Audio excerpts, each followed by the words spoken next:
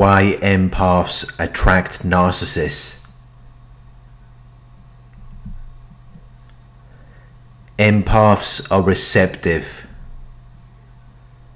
They are willing to consider or accept new suggestions and ideas. They can be present with people. They are aware of their own emotional state. They can react quickly and positively to other people's emotional states.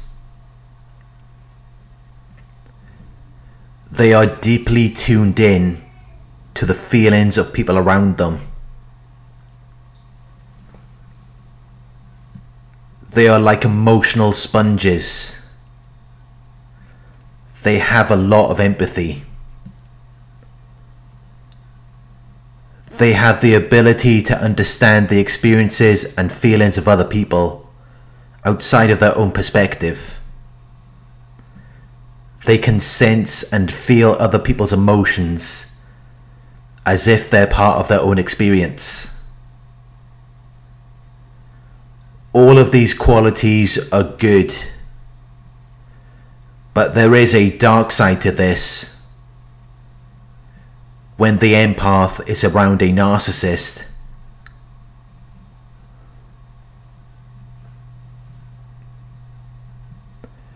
They will get sucked into the narcissist's emotional world. They will sacrifice their own feelings and needs to please this unpleasable person until they experience anxiety and distress. Empaths also have difficulty setting boundaries with people.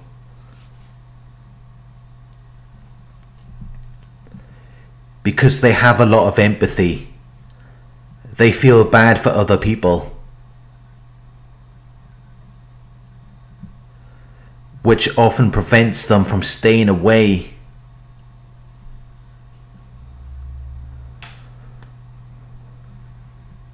Empathy is a good quality, but when the empath is surrendering everything they have to someone who just takes more and more and doesn't give anything in return, it puts the empath in a very dangerous situation.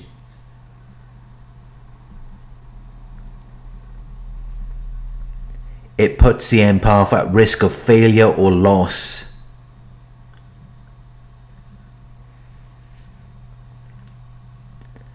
Empathy is a good quality. It is an essential quality to having a healthy relationship. But empaths also tend to be magnets to narcissists.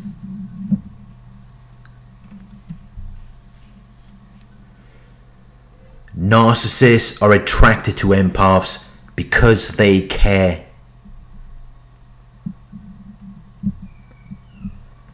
Empaths feel concern and interest for people.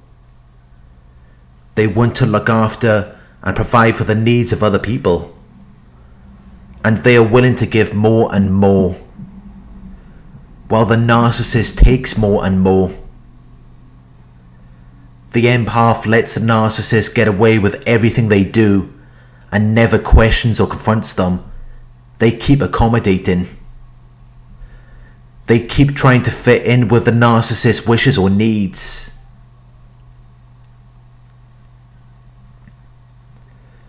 Which is the perfect situation for a narcissist.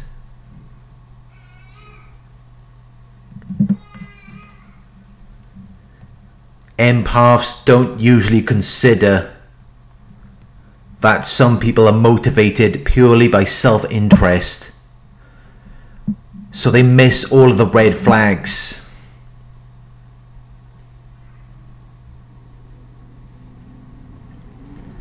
Instead, they continue to show pity and concern for the narcissist's display of, mis- of misfortune or suffering.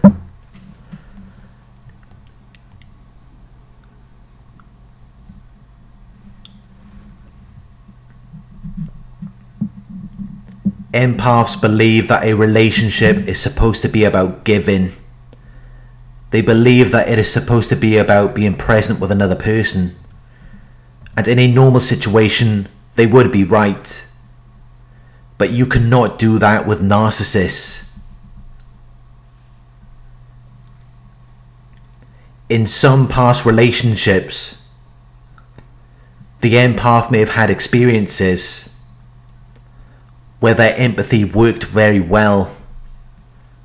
But when you're dealing with a narcissist, they will only take advantage of you. They will only treat you unfairly for their own benefit. But regardless of what the narcissist does, the empath will give them chance after chance.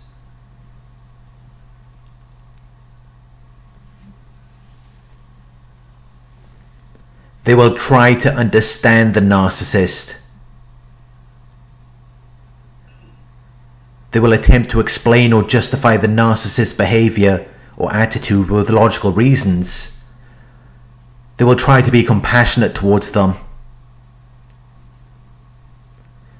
They will blame themselves or some other situation for the way in which the narcissist is behaving.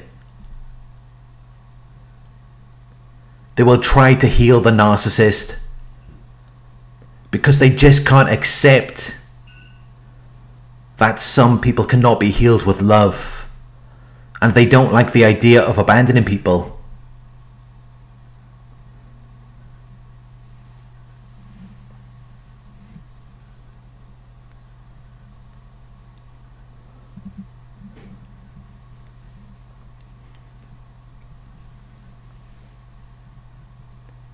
When a narcissist gets involved with an empath, they quickly assume that they can do whatever they want because the empath just lets them get away with it.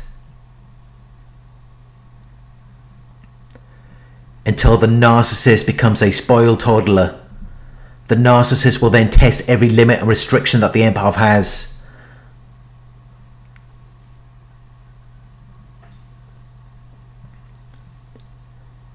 And this will hurt the empath.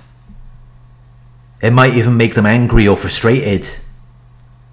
But they will continue to give the narcissist chance after chance because they believe that everyone deserves to be given a chance. They believe that everyone deserves to be loved. The red flags were there right from the beginning. But empaths overlook red flags because they're more focused on emotional connection they're more focused on attending to the narcissist's feelings and needs.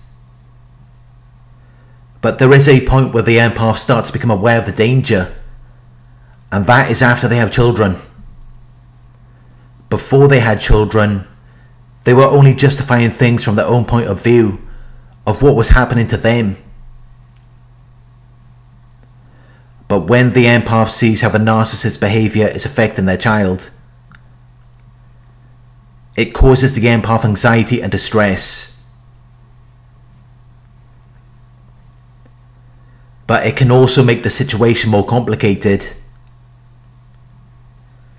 Because once you have been around a narcissist for long periods of time, it can exhaust your empathy until you have nothing more to offer.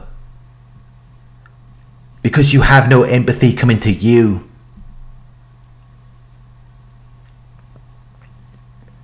but yet someone who is in need of special care and support, who you empathise with, is experiencing distress.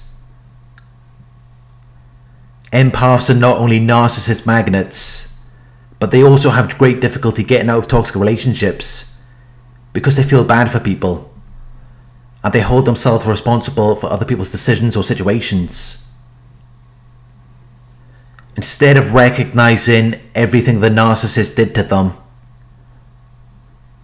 they will often examine their own behavior. They will assume that they should have done more for the narcissist. The more time an empath spends with a narcissist,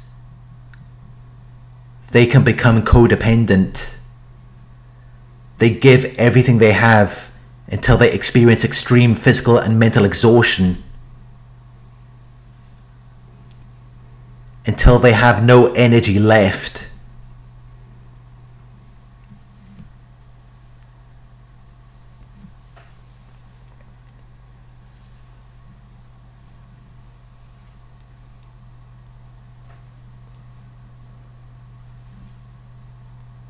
Empaths stay in these relationships with narcissists for long periods of time because they don't have the knowledge. And even when they do have that knowledge, they don't want to accept it. It takes a lot of work to make an empath realize what they're actually dealing with. But when they realize and accept it, some of them will still choose to stay. They have difficulty getting out before the narcissist causes more damage or losses. Because they think that they can fix things. They think that they can make things right even though the narcissist is the only one who is benefiting from the relationship. The narcissist will manipulate the empath into thinking that it's not good enough. No matter what the empath does for the narcissist, it will always be minimized or dismissed. The narcissist will not acknowledge the empath's efforts. They will only play it down and focus on real or imagined difficulties or problems. For this reason, the empath can spend years of their life in this relationship with no other purpose other than being the narcissist's ATM or their emotional punching bag, while still being compassionate towards the narcissist, while still hoping that they can change.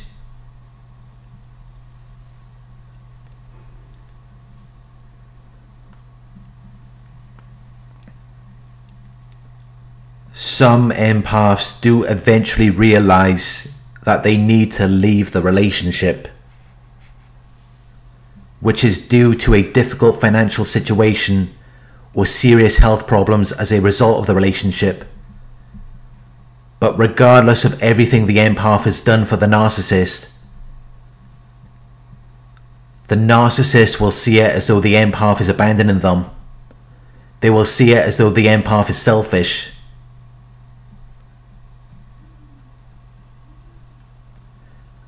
Narcissism is characterized by an inability to self reflect.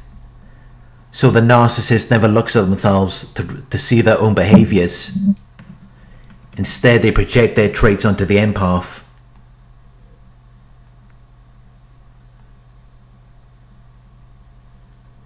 They also believe that the empath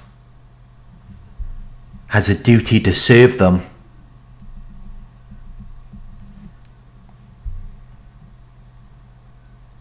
They believe that the empath exists to meet their needs. For this reason, even when the empath does leave the relationship, it doesn't end like a normal breakup. The narcissist will find themselves holding on for dear life.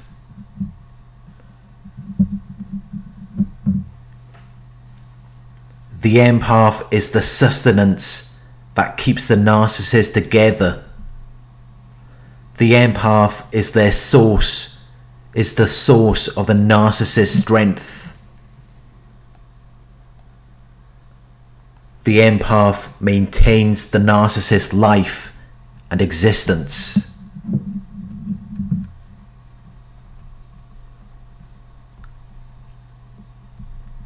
Which is why it is often so difficult for an empath to ever be free. Where there is an empath, there will always be someone who is dependent on them.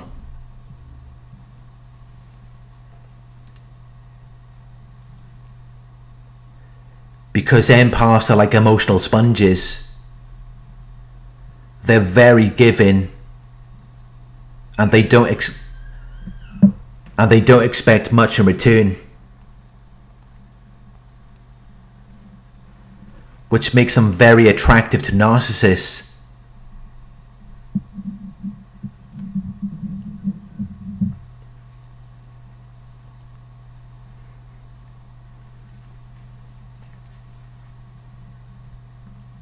Empathy is a good quality in relationships.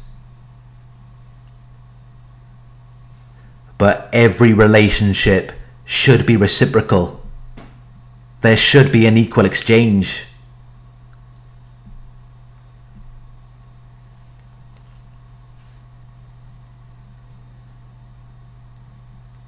It is not your responsibility to save the narcissist.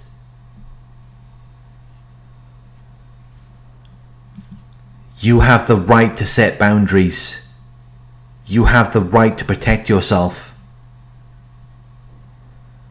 When your empathy is restored to its former condition, you will find that it can be an amazing thing. You can then give empathy to people who give it back to you. And you should especially give empathy to yourself.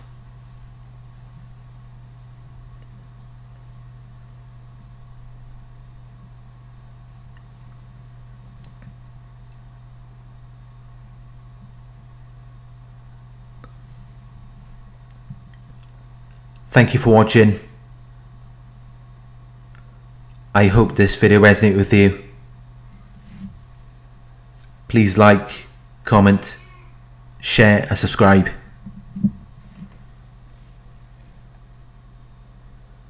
If you would like to donate, my PayPal link is in the video description. Coaching inquiries, you can email me at coaching at narcsurvivor.co.uk.